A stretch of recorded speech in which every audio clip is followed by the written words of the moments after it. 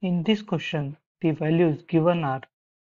efficiency of Otto engine is equal to fifty-six percent, heat rejection